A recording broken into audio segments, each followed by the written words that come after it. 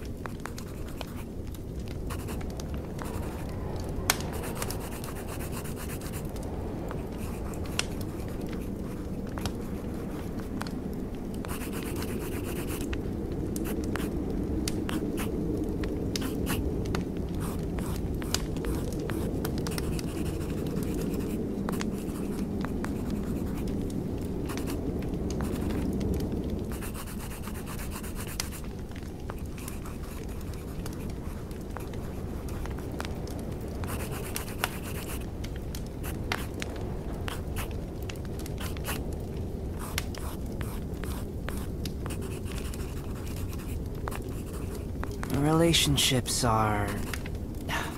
quite troublesome. Once you establish a relation with someone, you must continue to maintain it. If you lose contact, you must re-establish the relation. This taxing cycle requires... a lot of time.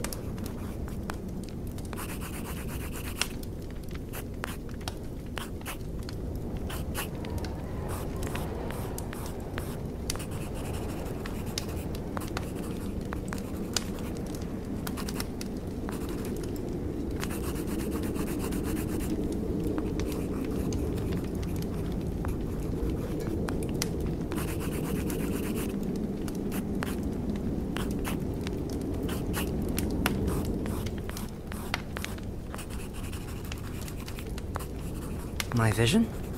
Ah, that's nothing more than a tool to aid in my experiments. No different from a beaker or crucible. The one thing about it that really intrigues me is the principle behind how it works. One day, I will uncover its secrets. It's only a matter of time.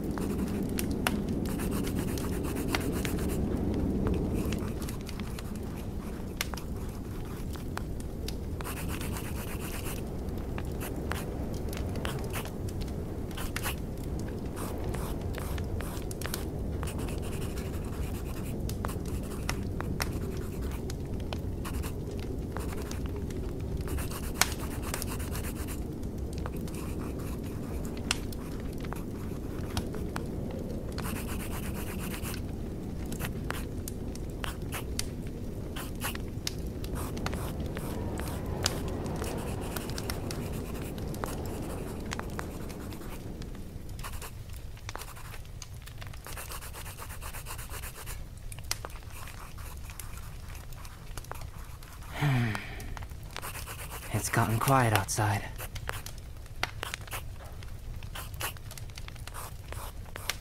Good night. You go ahead and rest.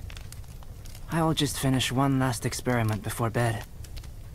If you are interested in the results, I can discuss them with you tomorrow.